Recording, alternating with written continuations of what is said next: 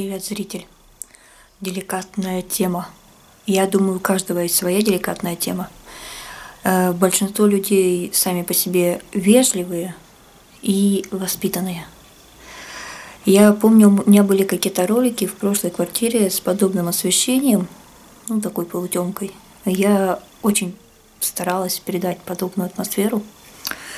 И у меня даже тут есть э, Тогда коробочка, которая практически год стояла и ждала, когда же я ее распатроню. Частично выкину, частично сложу и освобожу саму коробочку. Она очень долго ждала. Но до моего 36-летия она не доживет, к сожалению. Я решила сегодня записать СМР, которая, возможно, сподвигнет многих а может не очень многих. Но, по крайней мере, мы узнаем с вами, сколько у меня зрителей и подписчиков, и тех, и других, которые покажут себя с не совсем той стороны, как ожидалось. В общем, если вы не любите СМР, но вам очень интересно, знаю как минимум одного человека, кому, ну, прям вот что я там такое подготовила, что у людей пуканы, возможно, взорвутся, то просто фоном слушайте, не обязательно в наушниках. А если любите, ну, я надеюсь, вы словите мурашки еще попутно. Я очень давно не писала СМР лицом э, в камеру, тихим голосом, при этом с шуршанием. Обычно я как-то это делаю руками. И меня перед этим, еще перед Новым годом эта идея созрела. Но я подумала, что, возможно, кто-то будет за меня переживать, как э, другие воспримут то, что я сейчас хочу преподать в этом ролике, информацию ту данную. И как бы Новый год будет у людей испорчен. Поэтому я хотела с хорошим настроением встретить Новый год, у меня даже прогресс. Я перестала практически матюгаться, э, плохо воспринимаю мат от окружающих, когда его вижу в тексте, пытаюсь его избегать или закрыть вкладку. Обычно я с телефона читаю какую-нибудь информацию, чаще всего во время бессонницы. И на Новый год я была очень счастливым человеком, и я вернулась в то время, когда, допустим, была в детстве. Вот в детстве Новый год, на мое 15-летие Новый год как-то так. Поэтому я решила, что сейчас уже как бы все встретили свой Новый год практически, ну, по крайней мере, с 31 на 1 он уже случился, с 31 декабря на 1 января, то можно уже вроде как записать. И после этого я планирую записать уже все этот ролик о канале, который я про который я периодически упоминаю, где-то даже пишу, что у меня такие идеи есть. И он у меня еще, наверное, с октября месяца идея пришла его записать, если не сентября, может быть, с конца сентября. И, возможно, даже сделаю стрим внепланово, может быть, даже завтра. Потому что ролик я сегодня планирую этот и смонтировать. Возможно, какой-то звук был, это я ногу на ногу закинула. Я даже не очень представляю, как говорить и шуршать. Может быть, надо шуршать, а потом говорить. Ну, такая тема. Мне один человек отговаривал от этого, а один человек, близкий родственник, мне вообще предложил это озвучить на мою какую-то жалобу, что просили там что-то купить, обозреть, и как бы мне это особо не надо. Или купить, заказать, обозреть, съесть на камеру. Бывают такие запросы. У меня не столько много денег, как многие думают, и особенно вот в последнее время, когда я как бы не, неофициально, неофициально или очень мало шабашек, которые оплачиваются наличкой, деньгами в смысле, и именно деньгами, не каким-то бартером. И на данный вот последние годы полтора э, очень мало денег просто самих по себе, потому что нет какой-то конкретной работы. И теперь тема. Э, есть люди, которые считают своим долгом Возможно, это все-таки, наверное, я сделаю где-то поговорю, где-то пошуршу. А потом в ролике отмечу, вот здесь я шуршу, можете слушать шуршание, вот здесь я говорю, можете про... вот эти куски можете глянуть и посмотреть э, для тех, кому просто тупо интересно, что я тут утирать сейчас буду. Чтобы и мурашку словили, и информацию получили. Короче, есть люди, которым ну, очень интересно, они считают, что это своим прям долгом жизненным, рассудки, наверное, спросите, а на что ты живешь? Я считаю, что это вообще может задавать близкие родственники, там близкие люди друг к другу, если с целью только если хотят финансово помочь, вложиться, переживают и как-то так. Мне, возможно, камера периодически теряет фокусировку. Возможно, именно из-за этих вот огоньков сзади. Но я думаю, тут как бы все знают, как я выгляжу. Если не знаете, то у меня там есть ссылка даже на ВКонтакт. Если вдруг забыли, как я выгляжу, вот лицо мое, да. Меня вообще кот сидит, э, вы его не видите. Но я надеюсь, он не будет шуметь, хотя если он пойдет сзади, я его словлю. Э, такой момент, я, знаете, очень редко, крайне редко интересуюсь у людей, сколько они получают, Э, какая у них зарплата у пожилых людей, какая у них пенсия. Пенсия бывает не всегда у пожилых людей. И или там какое-либо пособие. Мне в первую очередь совершенно это не интересно. Я считаю, что это ниже моего достоинства узнавать людей. Это даже не с достоинством дела, это невежливо в первую очередь. И как бы неуважение – это вторжение в личную жизнь, в частную жизнь. Если человек хочет, он сам про это скажет. Если человек не говорит, значит, он не хочет этого делать. Э, я могу поинтересоваться у своего друга, хватает ли ему денег вот на данный момент, если он купил какую-то вещь, и вот у него зарплата какая-то определенная, и, допустим, доплачивают ли ему за его переработку чисто из интереса, чтобы вот, ну, узнать, хватает ли у человека денег на жизнь. Если не хватает, я в первую очередь предложу, если у меня есть возможность помочь. Ловила себя несколько раз на такой мысли, даже действиях. Но считается, что женщина э, мужчине не должна помогать, да?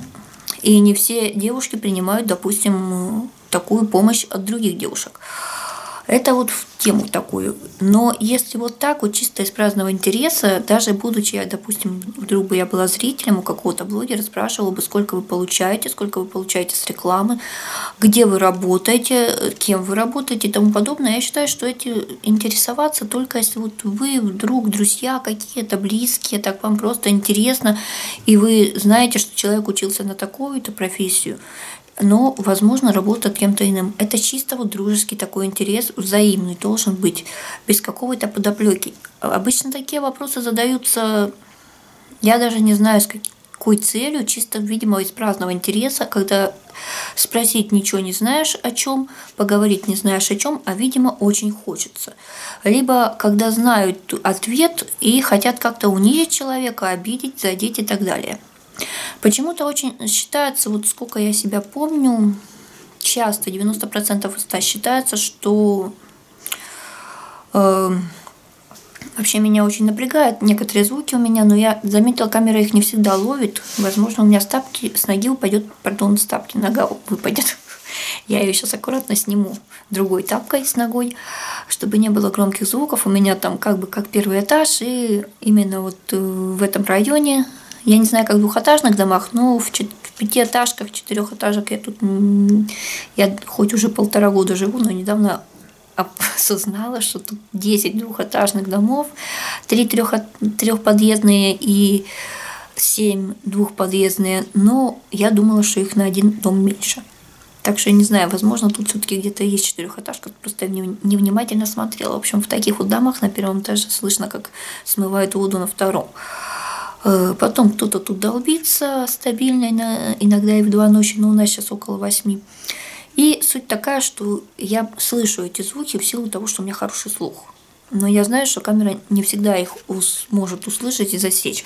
Поэтому меня это как бы тоже слегка волнует. Ну, если что, я потом их отдельно обозрю по шуршаниям. Меня еще как-то вот так умудряюсь. Кот спрыгнул с пианино. Благо не так громко, как я могло быть. Я еще тут умудряюсь простужаться в последнее время, не знаю как. Что-то вот надо что-то делать. Ну, разговор сейчас не о простудах и болячках, и я считаю, что не надо выпирать э, на первый план болячку. Болячки выпирают на первый план те, у кого вот, ну, уже просто нечего выпилить те, кому нечем похвастаться, те, у кого нет никаких каких-то достижений, разговор о деньгах, работе. Почему-то считается, вот еще раньше был такой момент, что если человек работает, то он человек. Если человек не работает, то он не человек. Но именно слово «работа» воспринимается как вот, ну, бюджетная организация, там на заводе, в библиотеке, в школе, еще где-то. Или частная организация, где ты работаешь на какого-то хозяина. Как-то не очень хорошо, я заметила, относятся, если ты частный предприниматель сам на себя, ну как-то менее хорошо. Вот у меня есть несколько родственников, которые сами на себя работают э, по профессии, по той, где они, допустим, раньше работали как бюджетная организация. Считается также, что если девушка, просто про мужчин я редко слышала, занимается проституцией, то это очень плохо. При этом как бы любой труд считается должен оплачиваться, да, вот у меня была подруга лет 15 назад, она была проституткой. Я не знаю, где она сейчас, чем занимается, но ее многие осуждали, а я почему-то поддерживала.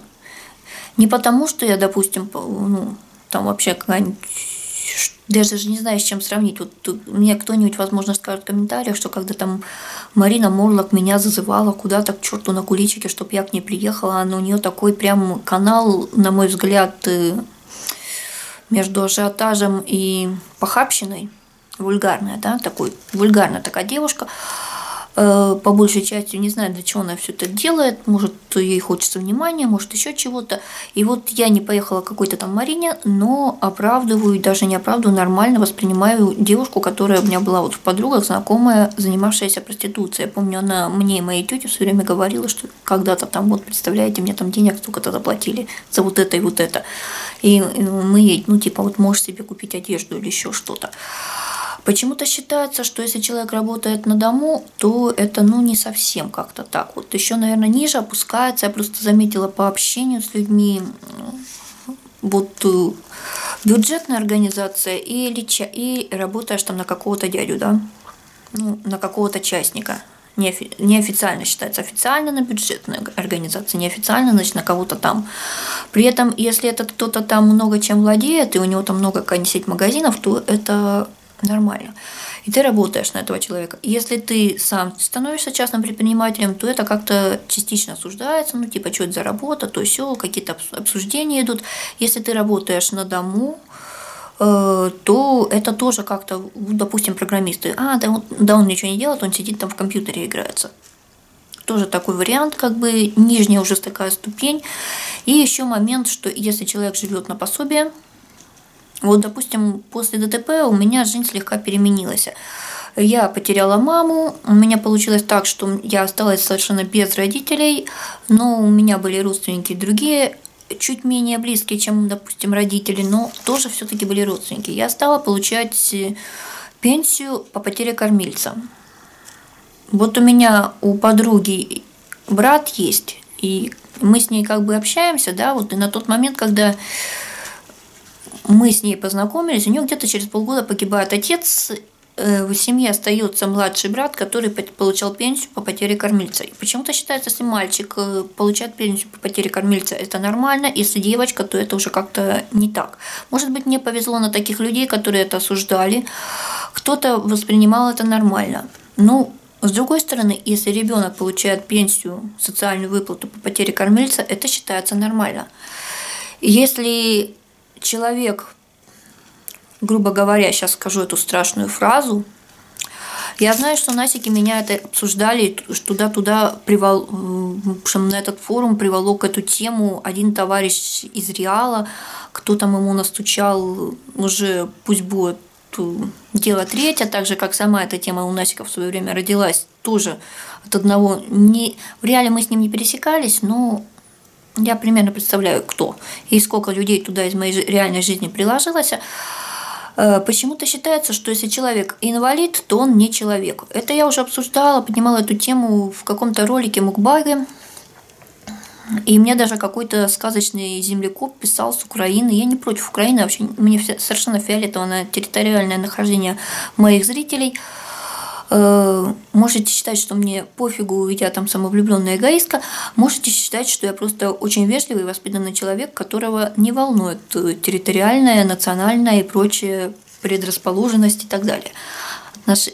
Даже не знаю, как слово сказать. Может быть, я его бы сказала поумнее и круче, но сейчас у меня в голове что-то его нет, этого слова нужного. А, помню, мне написал после того ролика какой-то мужчина и решил, что раз он инвалид, а я хорошо отношусь к инвалидам, то я обязана его содержать. Я не стала ему говорить, что мы с ним родственники. Страшное слово. Я знала, что мне это все равно когда-то придется сказать. Ну, на самом деле, мне просто очень достала эта тема, что на что ты живешь, вот э, еще с таким вот можно спросить с нормальным контекстом, нормальным отношением, нормальной интонацией. Можно спросить так, что ты как бы унижаешь человека, и человеку становится неудобно. На самом деле я очень долго стеснялась этого статуса. Когда мне 18 лет после кучи обследований э, дали направление на ВТЭК, и мне 7 лет подряд потом продлевали эту чертову инвалидность. У меня вторая группа, она рабочая. При желании я могу работать в том числе и на бюджетную организацию. Вот я это сказала. Я получаю пенсию по инвалидности, вторая группа, у меня 13 200, что ли, она, 13 200 в месяц я сейчас где-то так получаю. Конечно, я могу точную сумму назвать. Кто-то может сказать, что типа этого хватает на жизнь и тому подобное. Я считаю, что я живу посредством. Я, конечно, стараюсь на что-то откладывать. У меня в приоритете это путешествие.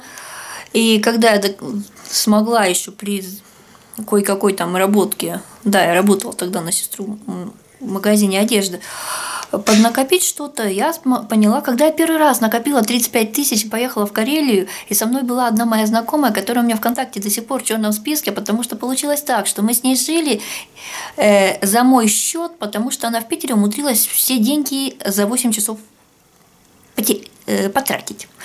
А планировалось, что мы где-то две недели в в Карелии живем, и вот сколько-то дней она жила, жила вроде как за свой счет, но потом жили за мой счет. Она мне несколько тысяч не отдала до сих пор, не считает нужным этого делать. И я тогда помню, у меня было 35 тысяч. О, вау, 35 тысяч, это так круто, я смогла столько отложить, смогла сколько-то не потратить. Я очень много денег все время тратила на косметику. На Ефраши Грин Маму, на чай, на еще какие-то вещи, и вот это потом все раздаривалось по большей части. Так же, как вот эта вся парфюмерия, косметика и чай. Ну, две трети я раздаривала, одну треть у меня утаскивали мои друзья. И потом получается, что у меня как-то случилось под 40 тысяч, и когда у меня было 120, что ли, тысяч, мне буквально тридцатки не хватало, чтобы сгонять в Японию чисто так вот, ну, на неделю со все включено, скажем так. И у меня случается этот э, переезд, что надо вкладываться в мебель, надо вкладываться немножко в ремонт. Э, спасибо родственникам, мне где-то половину ремонта и мебели, скажем так, оплатили. Может быть, это, конечно, не такой ремонт, как хотелось бы, да, вот кому-то, но для меня это было так приятно, что со мной ходили, ходил человек, меня брал, меня брали по магазинам, спрашивали мое мнение, какой я хочу, какого цвета обои. Меня уговаривали на этот потолок. Здесь потолок мне сделала тетя, на кухне я сделала сама потолок на этот натяжной, навесной. Я их вообще на самом деле путаю, но, по-моему, это натяжной. И со мной советовались по, по каким-то вот элементарным вещам, мое мнение учитывалось, мне это было очень приятно, и кто-то, я знаю, что обсуждали мой ремонт, что он какой-то не такой или еще что-то, мне он очень нравится. Эм, когда в общем, вернемся к тому, к той теме. Я не знаю, кто-нибудь там вот, когда это все смонтирую, досмотрит до того момента, где я упомянула, что у меня инвалидность. Э, я это очень скрывала, потому что когда мне сказали, мне 18 лет, я закончила школу уже и полгода проучилась педиа, но так как я болела, плюс была очень часто болела, у меня в этот же год осенью умирает дедушка, и человек, который на тот момент э, заведовал, не знаю, зауч или кто она там в нашем углическом филиале педа, и еще несколько учителей, включая ребят из моей группы, с которыми я училась, согруппники, да, девочки. А мне столько палок колес оставляли, я не знаю почему. Может быть, я какая-то не такая была, или я как-то не вписывалась в компанию, но, допустим, я сидела на первой партии, а в журнале посещения отмечалось, что меня нет. Или я действительно болела, у меня была справка, уважительная причина и тому подобное, но мне ставили как бы двойку за какой-нибудь предмет, на котором я физически не могла быть. В общем, мне всячески намекали и прямым текстом сказали, что или я отчислюсь не по собственному желанию. Мне даже практику не засчитали, хотя я ходила на эту практику с октября месяца с другой девочкой во вторую школу. Или же, хотя я поступала как бы на начфак и дизайн. Ну, дизайна там было два урока, было больше начфака, начальные классы если кто-то вдруг не понял, начальные классы, факультет. Это филиал был нашего педа, в который я потом поступила, и мне предложили или взять академку, или мы тебя как бы отчислим. Я взяла академку и на следующий год поступила на библиотечное.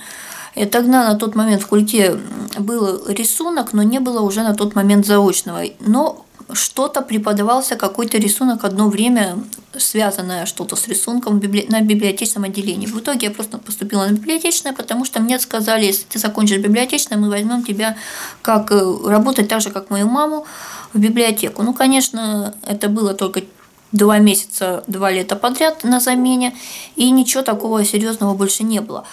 Эм, собака лает. Я не знаю, слышно было эту собаку или нет, она давно не лаяла на потолке, на втором этаже надо мной. И когда вот мне, как бы я уже вот э, не в педе, но я что-то часто болела, там еще эта депрессия была, как бы зрение минус 20 на тот момент было, оно еще не стало минус 13 с половиной, один глаз минус 13 с половиной, другой минус 13.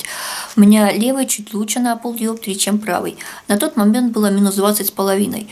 Зрение, значит, э, не, не совсем вовремя заметили, что у меня вывих шейных позвонков, и они на тот момент, в принципе, уже исправились, но я была в таком физическом состоянии ужасном, не считая еще депрессию, и мне еще ставят этот э, диагноз, еще эпилепсия, что посттравматическая эпилепсия, причем очень много людей до сих пор, девочка, которая ко мне приезжала, я не знаю, смотрит она меня сейчас или смотрит вообще АСМР, очень странно реагировала, когда я ей сказала про то, что у меня эпилепсия. Я поняла, что очень много людей, которые думают, что эпилепсия это в первую очередь ты падаешь в обморок, у тебя изо рта бежит пена и тебя колбасит. Так вот, не знаю, как там, судороги, не судороги. У меня есть судороги эпилепсические, есть просто судороги, я не помню, с чем они связаны, но с детства, где-то с четвертого класса, когда у меня мама развелась с отцом, эм, у меня был, видимо, какой-то такая детская травма, считается, наверное, так. Э, я очень нервничала, очень переживала этот момент, и у меня первая судорога была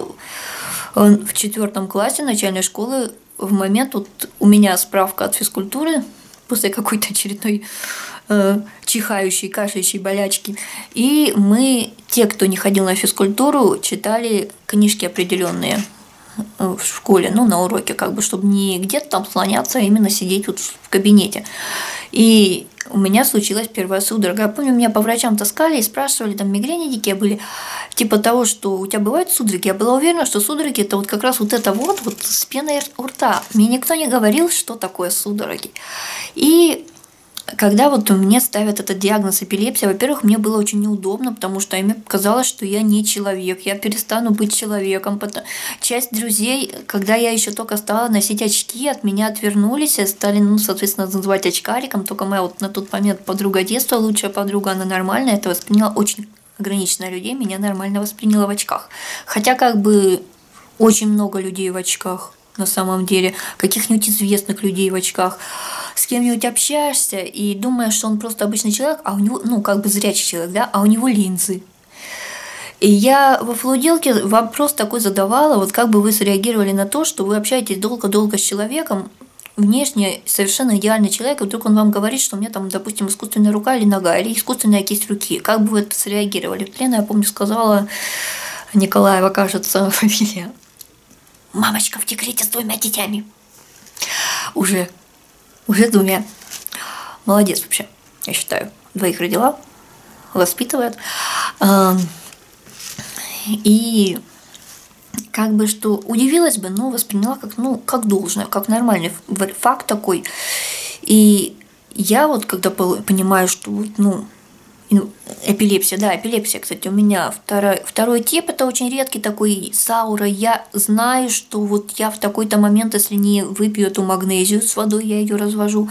Я знаю, что люди ее колют, я ее развожу с водой. Обычно разводят ее с водой, чтобы сходить по-большому особенно когда пытаются похудеть. А у меня вот ну, такой эффект, что у меня значит, проходит голова, проходят судороги, мне становится сразу хорошо и в обморок не хочется падать. Вот у моей знакомой вообще у меня есть несколько людей, включая мужчин, у кого есть эпилепсия. У них очень страшные эти темы проходят. И когда я с подругой с одной ездила по путешествию, первый раз увидела ночь, ночные вот эти страшные приступы, это вообще жуть.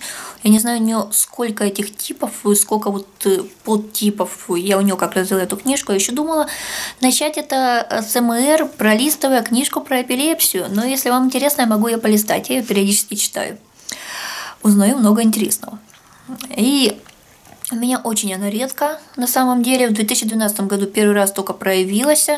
Мне очень не нравилось, что мне поставили этот диагноз. Я не верила, что она у меня есть, потому что как бы, ну, нет никаких предрасположенностей, кроме того, что вот только трещина в височной кости, и что если трещина в височной кости после ДТП, то вы еще при этом выжили, то это значит, что уже у вас будет височная эпилепсия.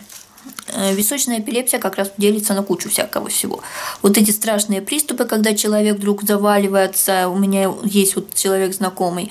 И если ты не знаешь, что у человека такая вот болячка жуткая есть, то ну, кто-то смеется, кто-то не поймет. Я как-то была на мероприятии, когда моя знакомая вела, была ведущим, и она, ей стало плохо. И людям настолько было пофиг, которые вот в лицо тебе лебезят, какая ты хорошая, белая и пушистая, но когда человеку действительно стало плохо и нужна была помощь, я просто уже не то чтобы я кричала, я на них тявкнула, на этих людей, что нужна помощь, что помогите, всем было пофиг.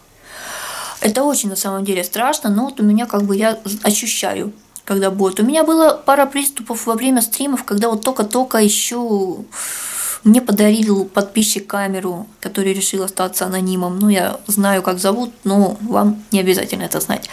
С которой я стримлю обычно. И меня тогда раскручивали типа 3 часа стрим, 4 часа стрим. У меня белая полоса идет перед глазами, я одним глазом вижу, другим уже нет. Я понимаю, что мне очень плохо, я сейчас ловлюсь в обморок, но я почему-то думала, что я должна я вот должна вести этот стрим, не знаю для кого, что я должна развлекать кучу людей, которым на меня по большей части насрать. Я это сказала.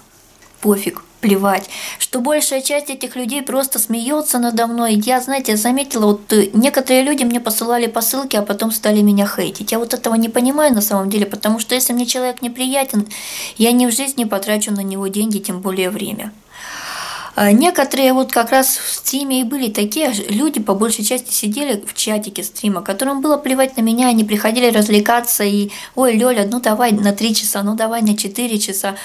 И как бы человек нормальный это понимает, что это тяжело общаться даже с монитором вот 4 часа подряд. А если человека еще какие-нибудь обмороки бывают, то это вообще тяжело. И я пару раз словила вот этот обморок. С виду это было незаметно. Возможно, там у меня как-то сильно руки трясли, сильнее, чем обычно, или еще что-то. Но с виду это было незаметно. Если ты не знаешь, что такое может быть, то ты и не поймешь. У меня же случается именно так, что один раз два года назад я была в гостях у маминой подруги и девочки, с которой мы общаемся, соответственно, с ее дочкой. Мне было очень неудобно сказать, что мне плохо и что мне нужно развести эту ампулу магнезии в воде и выпить. Я до последнего сидела, я полчаса терпела. Они меня потом, правда, ругали, но типа, вот что ты, чего ты стесняешься, нашла чего стесняться. Также я стеснялась очень долго того, что у меня инвалидность. Потому что, ну, как бы Почему-то принято считать, как я уже, наверное, говорила, и вот сейчас еще повторюсь, что если у человека инвалидность, допустим, у человека нет руки, ноги, там, уха, глаза или еще что-то, он действительно инвалид, то, да, ему надо помогать. Если человек внешне выглядит как обычный здоровый человек, то он, наверное, филонит, он какой-то врун, еще что-то. Вот такие все негативные оттенки идут.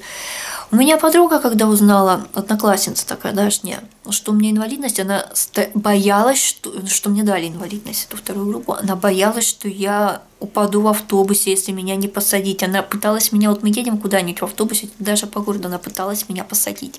Насильно еще ругала. Я понимаю, что она беспокоилась, все такое, но мне внешне, ну, вообще это вот, ну, внешне незаметно по человеку, а мне было очень неудобно.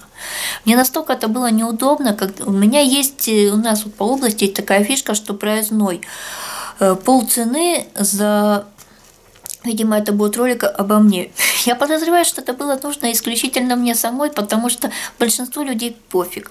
Есть нормальные подписчики, которые знают, что я пережила ДТП, что это очень страшно потерять маму, что очень страшно осознавать, когда ты переворачиваешься, и тебя достают из машины, и ты понимаешь, что только ты выжила из, из всех троих людей, и весь этот ужас. И я несколько лет не могла нормально говорить об этом, когда меня спрашивали, я плакала стабильно, и сколько-то лет я спустя несколько лет только смогла спокойно смотреть на фотографию мамы.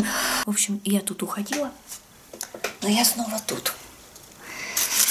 И если у меня батарейки хватит, я вообще специально флешку одну освободила, то я потом специально еще пошуршу. Ну и постараюсь это смонтировать уже тоже после вот этого ролика.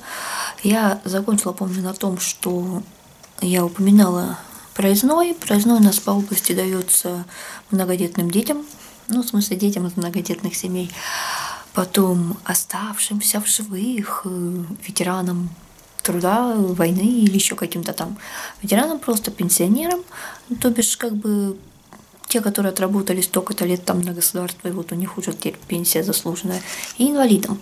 И у меня он как бы на полцены по городу, да, и еще там по межгороду, соответственно, распространяется.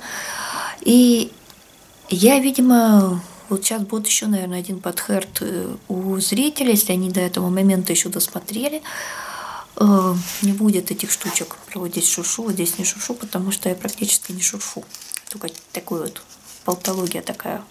Я так поняла, что тихий голос тоже слегка усыпляет людей.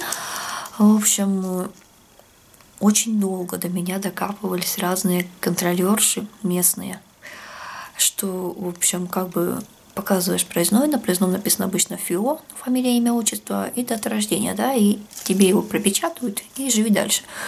Да какого-нибудь алкаша с алкашным видом лица обычно мужика не докапываются, откуда у тебя вот такой проездной, и правда ли ты вот там пенсионер, инвалид или еще что-то, да.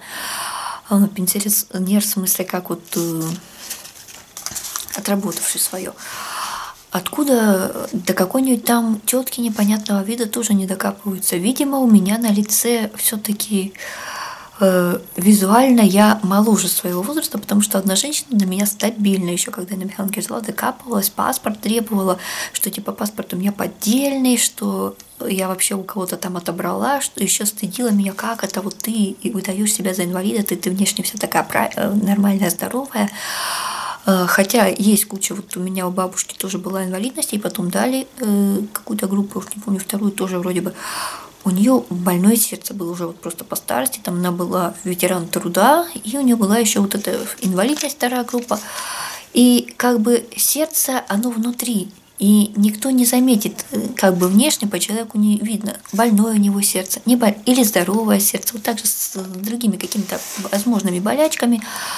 Если, допустим, умственную отсталость можно на лице рассмотреть у людей, у меня есть одна знакомая такая, то вот подобные какие-то их незаметно. Ну, как бы как мозги вот у человека. Если они есть, то и это заметно по человеку. А если мозгов, точнее, если мозги у человека есть, то их как бы незаметно, внешне мозги незаметно. Но если мозги отсутствуют, тупость, да, то это очень видно. Тут также и меня стыдила эта женщина, что вот, значит, ты там у кого-то скоммуниздила этот проездной, да у тебя паспорт вообще левый, хотя как бы там, ну, на паспорте у меня такой лик, будто меня огрели мешком картофельным из-за угла и напугали при том. Ну, как обычно у людей на паспорте редко фотография красивая. И что вот я выгляжу моложе, чем написано там 84 год на проездном, потом как бы сейчас вот уже нормально, видимо, уже я, мое лицо приелось людям, я часто, не то чтобы часто, я на самом деле сейчас очень редко езжу на, и на маршрутках, и на автобусах, которые вот эти как бы льготные, но было мне вот чисто очень неприятно. Я понимаю, что люди просто по большей части вот такие глупые. Они не осознают, они не пытаются встать на, стор на сторону человека, они не пытаются взглянуть на себя со стороны, как это выглядит, что это обижает людей. Учитывая, как в обществе в принципе относятся в большинстве, не знаю, как в других странах, но в России как-то это вот э, хотелось сказать в большинстве стран, но мне хочется сказать, что хотелось бы сказать, что в большинстве стран, надеюсь, я почитаю как-нибудь про эту тему, как относятся в других странах к людям, которые социальный статус имеют инвалидов, инвалиды по социальному статусу, скажем так.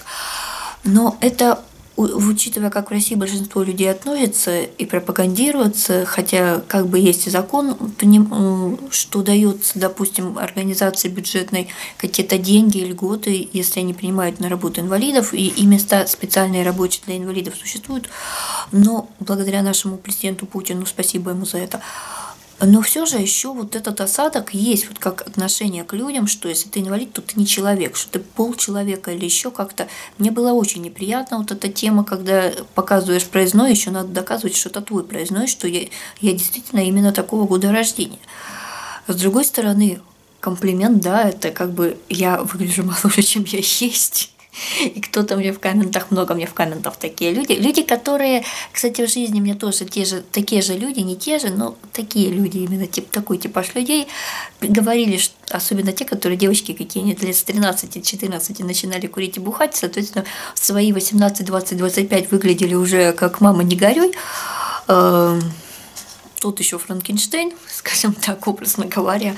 И если ты их чуть старше, а выглядишь лучше, чем они, то, конечно же, это надо сказать тебе, что ну, ты, ты что, да ты старуха, да ты страшная, да ты черти кто там. Ну, во-первых, красота понятие растяжимое, а, так же, как э, страх божий, чертов и так далее, природный.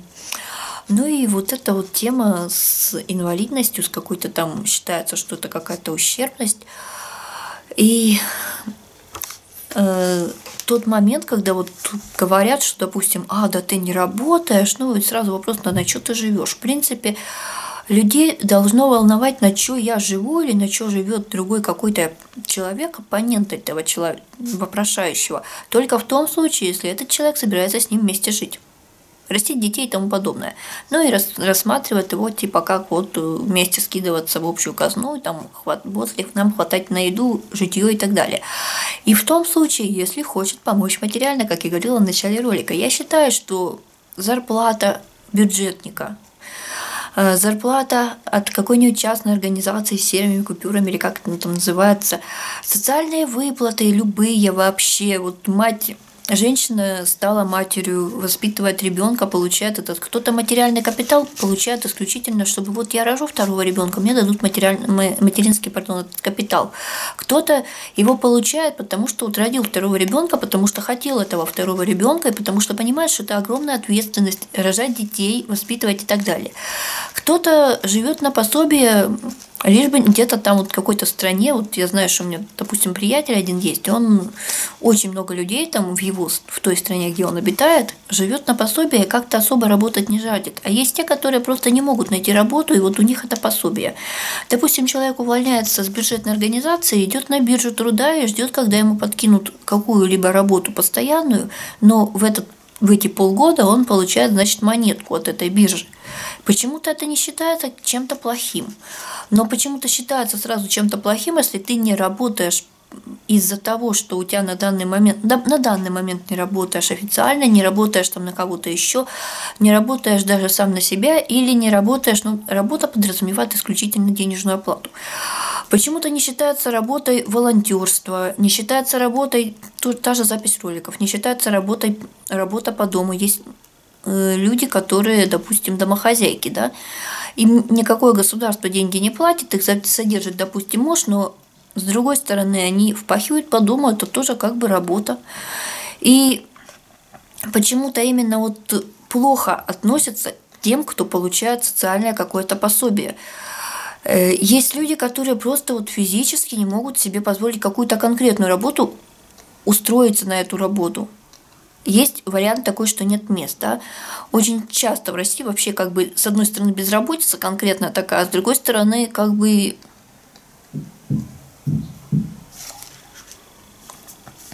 и места есть, но не все могут. И, скажем так, э, по большей части где-то вот дофига требуются работники, а с другой стороны безработица. Вот палка двух концах такая. И, и там не а мы и тут не дам. А еще момент такой, что человек физически просто не может, допустим, потянуть какую-то работу или что-то. Или вот я бы с радостью занималась дистанционно какими-нибудь счетами, цифрами, бумагами. Был момент такой, занималась, работала. За копейки, честно за рубли. А еще такой момент, вот был период жизни, что я не могла вставать раньше 9 утра. Если я вставала в 8, я могла упасть в обморок и вообще так отвалиться часа на 4. Или просто физически никакая. Ну, я теперь умею ходить в обмороке.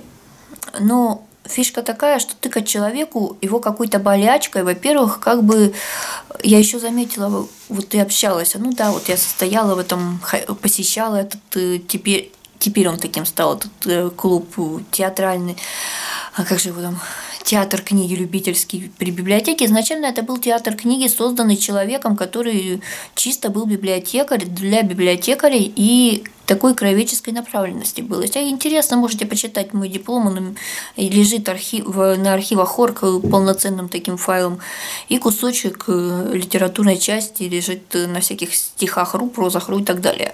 И под моим ником, и под моим именем, фамилией. Но суть такая, что потом это переделали исключительно как э, уже пришел новый человек, э, принялся на работу, и стал заниматься этим театром. Она даже грант, я помню, выиграла по Ярославской области работа с инвалидами, что я посещала этих, есть этот клуб театральный. Мне чисто нравился сам театр, сам процесс, вот само выступление, там как бы пару раз пришел на репетиции, прочитал текст, запомнил.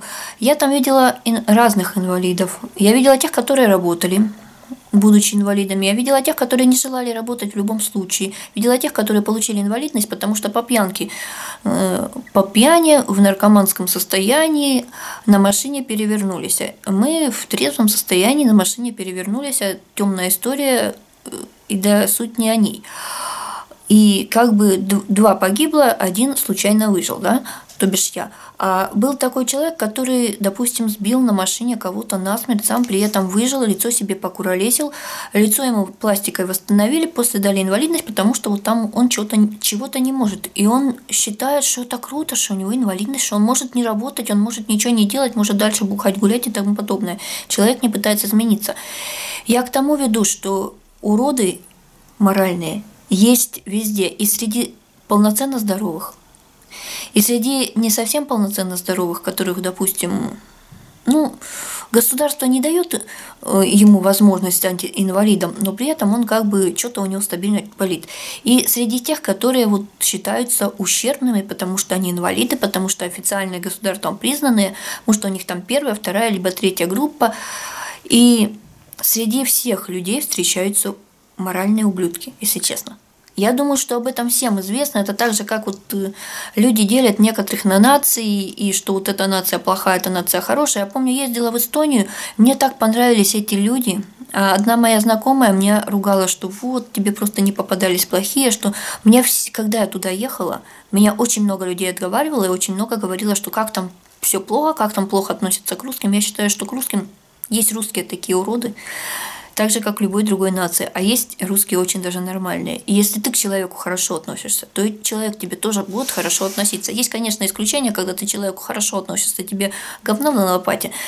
Но я про то, что уроды моральные есть везде. И если ты физически чем-то от других людей отличаешься, это не значит, что ты и морально тоже какой-то не такой. Я подвожу к тому, что, что в принципе надо нормально воспринимать деньги, которые человек получает, либо он получает, потому что там с 9 до 6 проторчал на какой-то работе. Бюджетная организация. Бюджетная организация. Я, кстати, тоже плачу налоги, допустим, отчисления за кусочек земли в деревне. Налоги, они пополняют бюджет, бюджет за счет этого выплачивает зарплату бюджетная организация, ну, там в идеалах делает асфальт хороший на дорогах, еще что-то, еще что-то, еще что-то, и выплачивает ту же пенсию по э, выслуге лет, пенсию социальную, социальные выплаты – это вот бюджет. Ну или же частники, которые, кстати, частные предприниматели, они тоже платят налоги в принципе. Я к тому веду, что не зазорно, если человек на инвалидности. Не зазорно, если мать-одиночка воспитывает ребенка и живет по какой-то причине на пособие, потому что, допустим, ей ее ребенку уже три года, но садик не дали. Вот у меня есть друзья, у которых э, маленькая девочка, ей три года, но государство садик не дало. Хотя садики как бы есть, места в садиках тоже как бы есть. И вариант, либо ты платно отдашь садик ребенка и будешь прилично так откидывать денег, но при этом особо на работу возможности полноценно нет устроиться. Или ты будешь сидеть дома с ребенком в ожидании этого садика. В принципе, тоже без работы. И точно так же, что если человек где-то впахивает и получает э, деньги за это. Потому что я считаю, что в принципе государство норм... Э, обязано поддерживать тех, кто по вине, я считаю, государства все-таки. Потому что была бы нормальная медицина, была бы нормальная экология или еще что-то. Была бы нормальная ровная дорога, э, кто бы, кто-то там бы не перевернулся. Или даже вовремя оказанная медицинская помощь делает человеку жизнь лучше. Поэтому если вовремя не, оказана, не была оказана, допустим, медицинская помощь или в нормальном виде она не была оказана, и что какая-то там несчастный случай приводит э, к какой-то физической проблеме у человека, что ограничивает, ограничивает его возможности по той же работе устроиться на работу или получить образование именно в той сфере, в которой он хотел бы изначально, то это вина именно государства, и государство, в принципе, нормально, что поддерживает таких людей. Точно так же, как государство выделяет из бюджета деньги на бюджетные организации, дабы оплатить зарплату бюджетникам. В общем, я вряд ли, конечно, достучалась до тех людей, которые считают меня супер каким-то злом, э, фееричным уродом или еще кем-то. А те, кто ко мне нормально относился, я думаю, также и продолжат относиться нормально, потому что, в принципе, ну, моя эпилепсия на вас же не влияет, и то, что я получаю от государства в середине месяца деньги каждый месяц, на вас тоже не влияет. Я же не из вашего кошелька их получаю, так же, как э, вы получаете зарплату не из моего кошелька. И я не давлю на жалость, если вдруг кто-то так решил. Но если кто-то решил, ведь что-то кто-то решил, это человека не переубедить, человек будет так дальше считать. Просто я не озвучивала эту тему раньше. Во-первых, ну, действительно, меня это очень смущало, меня это очень напрягало, и как бы я почему-то я чувствовала себя, ну, не человеком. Хотя как бы точно такой же человек, как все остальные люди. И я не считала это нужным, но когда очень часто вопрошают эти вот типа на что ты живешь, и даже больше из-за того, что эти идиоты на форуме Насиков, хоть тема там уже полгода как сдохшая, э, надеюсь, так и будет продолжаться, подняли этот вопрос, и, во-первых, это ну, личное дело каждого, кто там что зарабатывает, кто кем является. Но когда ты как бы общественная личность в каком-то плане, да, этот блогер, да, типа, раз уж залезла на, в камеру на YouTube, то принимай, радуйся, что в тебя кидают камнями. Меня кидали камнями, когда я стала носить очки на прошлой, в прошлом районе жития. Те, с кем я дружила до этого, и когда не носила очки. Но это лишь говорит о людях, о самих вот людях, о их э, внутренности, об их говне внутреннем, да. Если ну, я решила, что под этим роликом я оставлю все комментарии, какие бы ни были. И, конечно, если там будет какой-то уж совсем срач, то я буду выметать веником, потому что я думаю, люди не любят вот... Э, ну, есть те, конечно, которые срут под себя, а есть те, которые все таки убираются у себя дома. Если кто-то приходит кому-то в гости, то снимают обувь и одевают тапочки. Так что будьте как дома, но не забывайте, что в гостях. Я надеюсь, что все-таки словили мурашки. Возможно, я все-таки не, не, не знаю вторую часть. Я говорила слишком тихо, слишком громко, но вроде как тихо. И я постараюсь записать отдельный ролик просто с руками, с вот этими бумажными цветочками. И, наверное, без говорения. Потому что я что-то вот раньше, я просто не присматривал свои СМР, где я там говорю и шуршу, одновременно я говорю и шуршу, или просто шуршу отдельно говорю. Но когда я начинаю шуршать, мне кажется, что, что голос будет заглушать вот это шуршание, будет какая-то какофония. А, если вдруг кто-то наберется храбрости и напишет типа Лёля, я такой же, как и ты, не обязательно с эпилепсией, а, то я буду рада почитать ваши комменты. И а, нормальные, адекватные люди скажут мне или просто подумают, или на моем бы месте сказали что-то подобное услышать. Спасибо за то, что нам доверилось. Так вот, спасибо мне за доверие вам, и спасибо вам, если вы досмотрели до конца. Всем пока.